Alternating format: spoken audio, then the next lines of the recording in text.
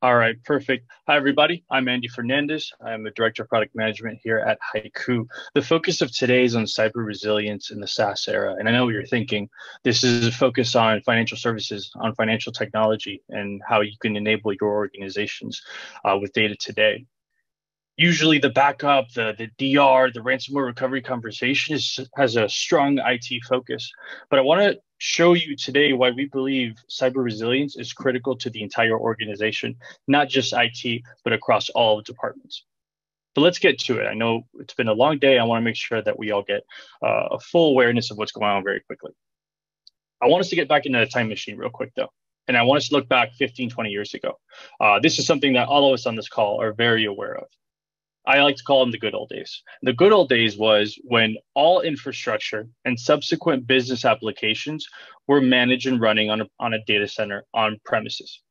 What did this actually mean, though, in the context of cyber resilience? Well, it meant that IT had full visibility and full control. Why? Because all of the applications, including financial applications, including payroll, HR, engineering, they all sat in a data center on virtual and physical infrastructure. What that meant was IT could manage it.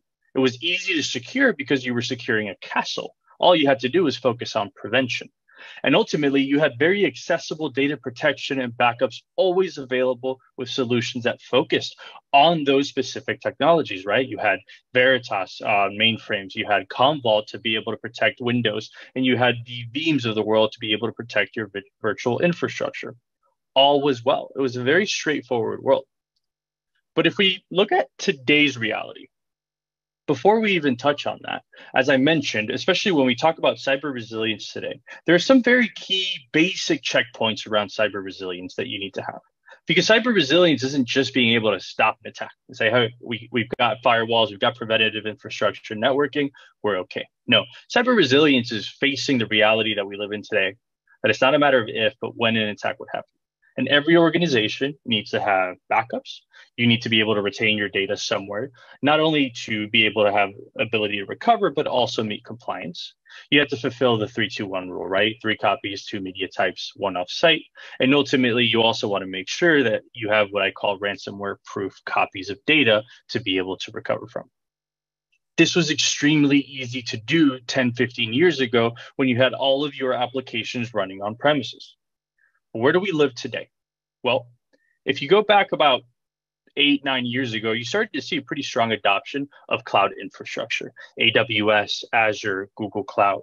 But people were using them to save on storage, to be able to store data, use it for archive storage requirements, even certain backups and DR. But all production level applications were still running on prem. What we started to see now was a full modernization of these applications. Now people are relying on their cloud services for database, for PaaS, for everything that they're doing from an analytics, data warehousing, and development perspective. This now means that applications that used to run on production on prem are actually running on cloud infrastructure now, and that as a service model. And that's just the beginning. The other component is the explosion of departmental SaaS applications.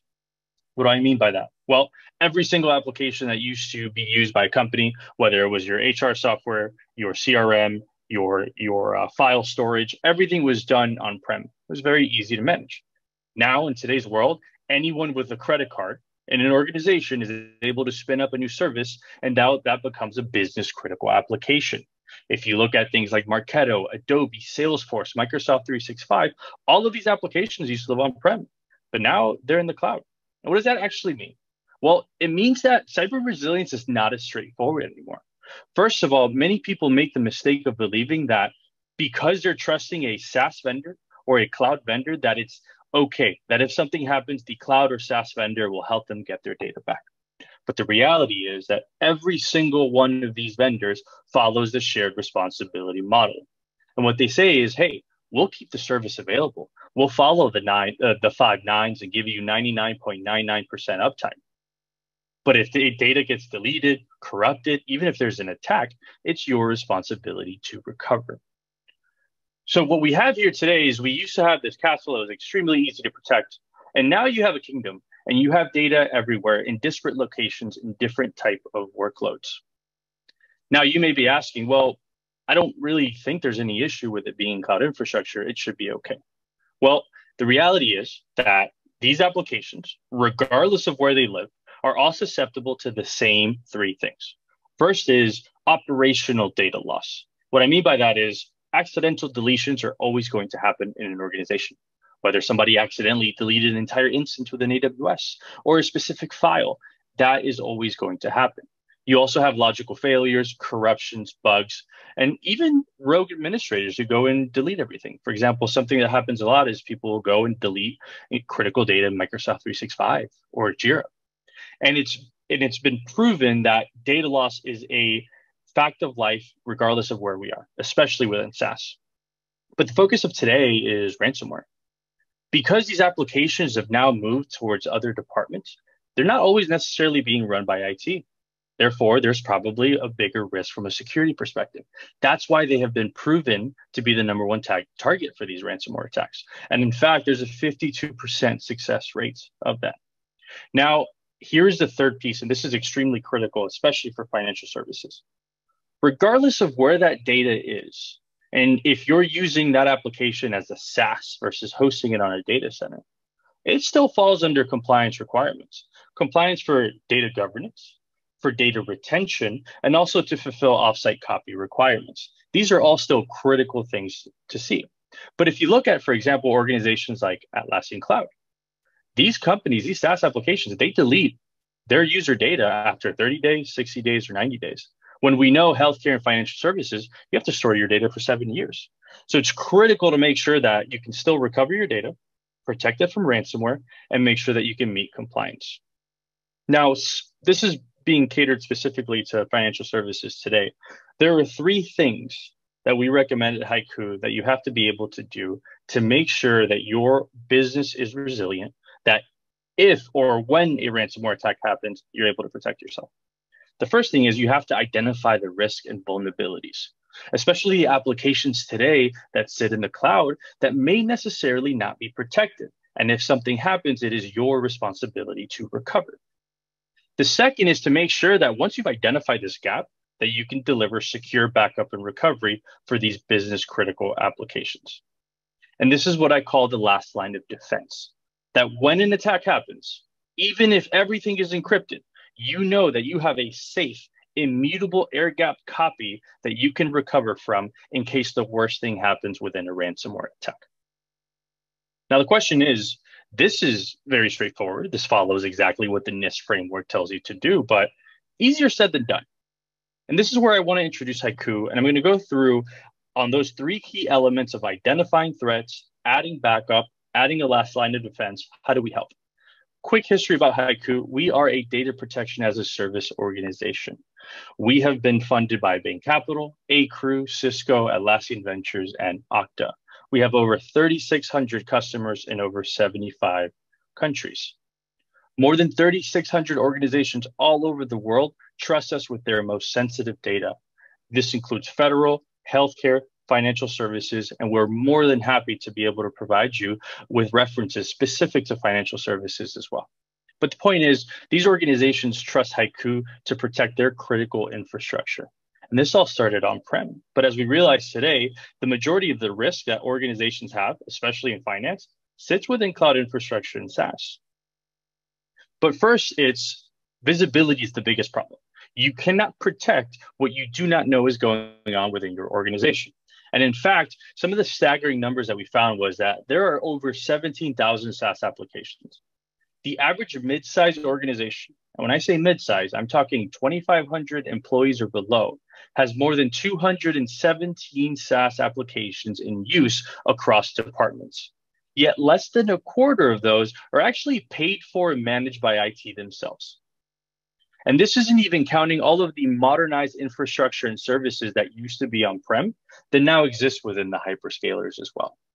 So most organizations, despite their most confident efforts, do not know the sprawl of SaaS applications that are going on whether it's known IT or shadow IT. Now, the question here, though, is okay, let's say that we can visualize and we have an exact inventory of all of the SaaS applications that we're using today. Can you even protect them? And the answer for the most part is no. If you look at the total amount of applications that are just in the Americas. We're talking 17,000 SaaS applications. Within finance and financial services, let's say that there are 500 critical SaaS applications and cloud services that are used in the Fortune 500 regular. There are actually not just less than 10, but there are only five SaaS applications that are supported today by enterprise class vendors. And I mean enterprise by those recognized by Gartner as trustworthy backup and recovery services. So what we see here is an enormous gap. Not only do we have a visibility problem, but we have an issue here where the enterprise backup vendors have not been able to catch up and be able to protect. No one can build these in a linear fashion. It is impossible. There are too many applications, too many of them are coming out every single day. So what I want to be able to drive first now is kind of talk through how HYCU is able to solve two problems. First problem is how do I know what's going on in my organization? How, how do I know what's protected, what's not, how many SaaS applications? And then how do I actually protect these applications that I suddenly discover that are my responsibility to be able to protect and recover if something happens? The first thing that we've announced, and this is, I'm giving you a sneak preview of this, this is a free service that we're going to be able to give all organizations that are attending this call. It's called R-Graph. And what R-Graph is, is within seconds, leveraging your single sign-on, whether it's Azure AD or Okta, that you can visualize your entire data estate in seconds. What I mean by this is being able to understand how many SaaS applications are being used by your organization today. How many cloud services are being used by your organization today? And this even extends to on premises as well. So you have a full understanding of what are my critical applications and are they being protected or not? This is a perfect way for you to take critical steps in order to fill these gaps in protection that every single organization has today. The next bit is well, okay, we've helped you with visualization. But how on earth are we going to build 17,000 SaaS applications? How are we going to build backup for all of them? And the reality is that we're not. So what we realized, and this is a bit of our penicillin moment, it's we've patented and we've been a leader in data protection and backup recovery, DR, ransomware recovery. We've perfected the technology, we've stabilized it. We are built natively for every cloud infrastructure and on prem as well. And we've already built the magic. The question is, how do we spread this magic across the world? And so what we built was something called R-Cloud, the world's first development platform for data protection. So instead of us having to go and build 17,000 SaaS applications, why not work with the SaaS vendors and empower them to be able to rapidly release native backup and recovery services for their SaaS application? And the way that we're doing this is in a low code framework. We're exposing our APIs. We're giving these SaaS applica- uh, these SaaS companies access to be able to build and access everything that we've already perfected. Our policy management, our storage target management, our backups, our ability to automate and orchestrate the movement of data. These things that we've perfected, we've now opened it up and given it to these organizations to be able to build on HYCU on R-Cloud ultimately we secure, we certify, and we publish this to a marketplace. So the way that it works is think of the critical SaaS applications that every organization attending this today uses. Let's take something like Jira. Critical. Jira Cloud is important, and most organizations don't realize how much of a gap they have in data protection there. So these SaaS app companies are able to simply determine what they want to protect, leverage our APIs, leverage our framework, and in a very rapid amount of time be able to release native purpose-built backup and recovery that includes not only automated backup policies, granular recovery, but the ability to store data off-site and meet those compliance requirements. And ultimately, they are all available on the HYCU marketplace, which we can give you access very quickly.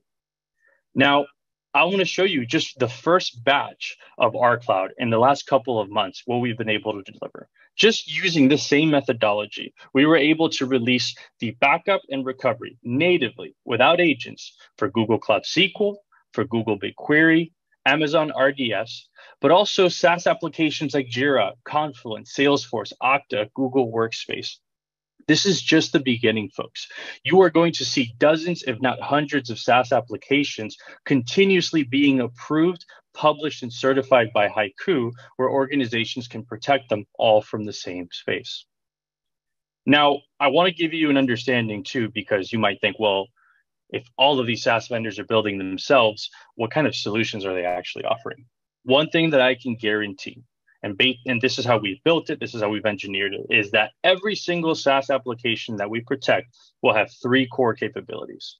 First, being able to automate the entire backup process. This is something that takes organizations a lot of time. Imagine having to create backups for 200 different SaaS applications. It's not going to work. So we've allowed the ability to set and forget policies. And within five minutes, you can automate the backup side. When something gets deleted, if there's an outage, if there's a ransomware attack, we provide one click granular recovery, not only of the entire instance or object, but down even to the file level. And most importantly, from a compliance perspective, we allow you to be able to store that SaaS data offsite for as long as you need to, whether it's seven days to seven years, you can store it at any point in time for an unlimited amount of time. So that's what HYCU is all about we've identified what we believe to be the biggest gap in cyber resilience that is today. And we're the only service, the only platform that is built to scale to protect the thousands of applications that need protecting today. Being able to manage your infrastructure on premise, your applications and database on premise, but also all of your applications and services that live within the cloud. And with that, we're able to give you one place where you can manage all of them and be able to deliver the backup, the DR, the mobility, the ransomware protection, and to make sure that you can always meet security and compliance requirements. We are the only vendor, the only service that is even built to be able to deliver this type of coverage. So, in conclusion, what I want to give you is a little bit of an insight into how we can help you today from a cyber resilience perspective. And there's three things that we discussed, right? Identifying the risk, making sure that you can prepare yourself, and find filling the gaps with secure backup. The first thing that we can do is deliver R-Graph for free. This allows you to visualize your entire data state and identify unprotected applications. The next thing is RScore. What RScore is, think of it as a FICO credit score for your ransomware preparedness. Taking a look at not only what type of technology you're using, but also what kind of configuration, documentation, and behaviors you have in your organization, giving you an exact score with exact um, requirements for you to be able to improve that score. And ultimately, we give you the highest volume of SaaS applications that are natively protected today by an enterprise class backup. So it's all about making sure that you can assess your risk, prepare yourself, but ultimately protect this extremely critical data that lives in SaaS today. So with that, I want to thank you so much for your time and we can open this up for questions, Ron.